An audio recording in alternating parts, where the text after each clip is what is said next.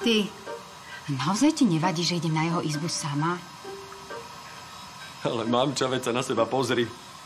Jasné, že ťa pozval, len preto, že chystá pre mňa nejaké prekvapenie a chce to s tebou celé dohodnúť. Hm, keď myslíš... Ale neboj sa, ja viem zahrať prekvapenie. Podívaj. Povýšenie. Ja? Dobre sa, nahoď. Nech sa za teba nemusím hambiť.